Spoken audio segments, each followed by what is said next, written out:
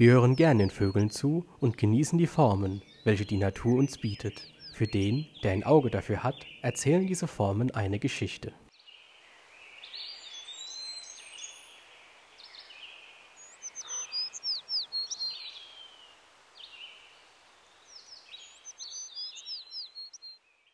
Auch unter den besten Bedingungen weichen viele Bäume in unseren Wäldern von ihrem naturgegebenen, geraden Wuchs ab und geben skurrile Formen zur Schau.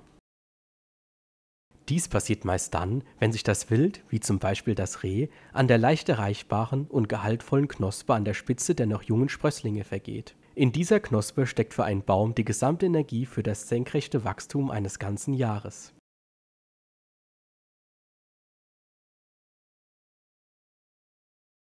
Um trotzdem im Konkurrenzkampf um das Licht mithalten zu können, wächst der Baum von einem Seitentrieb aus nach oben und nimmt dafür einen krummen Stamm in Kauf. Ist der Wildbestand zu hoch, sieht man so manchem armen Geschöpf gar nicht mehr an, dass eigentlich ein stattlicher Baum aus ihm werden sollte. Auch schon hochgewachsene Bäume sind vor dem hungrigen Wild nicht in Sicherheit.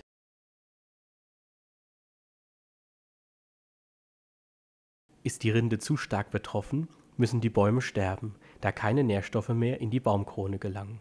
Krumme oder beschädigte Bäume können von uns Menschen nur schlecht genutzt werden und führen auf lange Sicht zu einem kranken und witterungsanfälligen Wald.